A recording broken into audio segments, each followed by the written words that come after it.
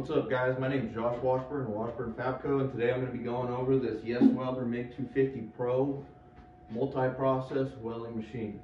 So I bought this machine about 10 months ago or so. Um, I bought it because my Lincoln 210 MP burned up on me on, on a mobile job. I was about an hour and 20 minutes away from home. Um, I needed something quick. Amazon Prime had it here in two days. That was quick enough for me. I was recommended the Yes Welder brand by my cousin out in New Mexico. He does a lot of dairy work, maintenance and welding out there. It's turned out to be a good machine.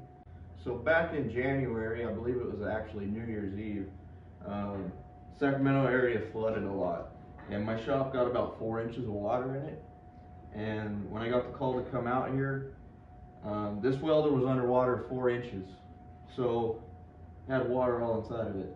So I left it to sit, dry out, didn't use it for about a month and a half or so.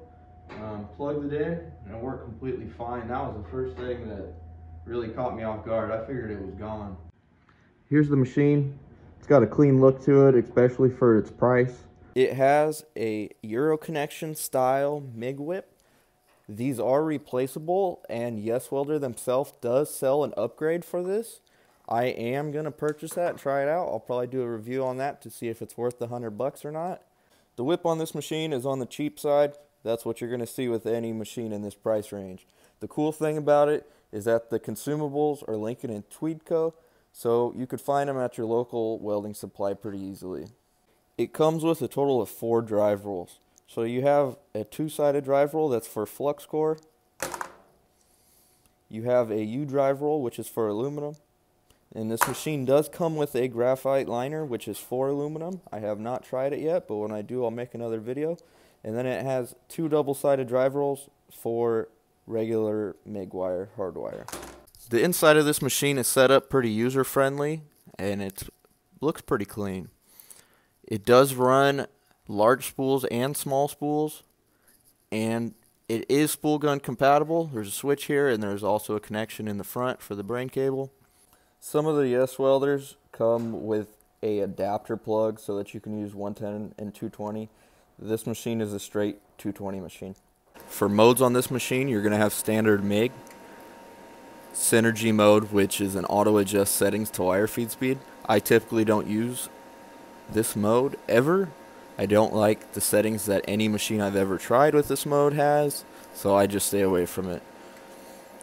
It has stick welding, and it did come with an electrode holder and lift arc TIG. It does have an inching button to feed wire through your whip. Here's your voltage adjustment. Click it twice, you have your wire feed speed to change. Down here at the wire select, it'll select your size wire. I always run 035. And on material, you will have flux, aluminum, 100% CO2, and a CO2 argon mix. From the main menu setting, you're going to have the inductance, a two-step, four-step trigger, a hot start, a run-in, and a burn back setting. So I got some scrap here. We're gonna do some testing on it. It's 3 8 plate. I'm gonna be running at 22 volts and 7.3 meters per minute.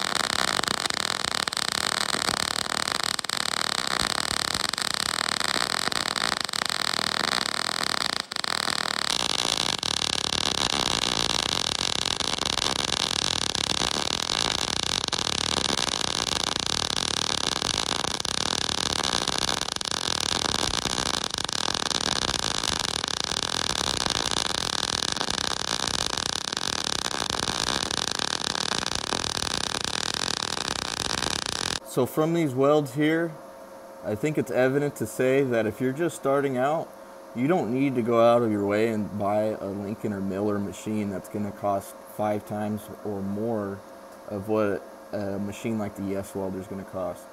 I don't really see much of a difference in the welds. I think the arc is as stable as a Lincoln or a Miller.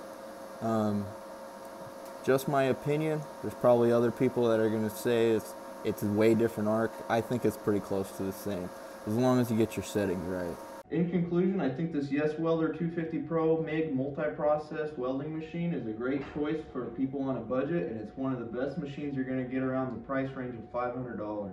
If you're looking to purchase this Yes Welder 250 Pro or a different Yes Welder, I have a coupon code WashburnFabco at checkout and it'll also be a link in the description. If you stayed this long, thanks for watching. We'll see you next time.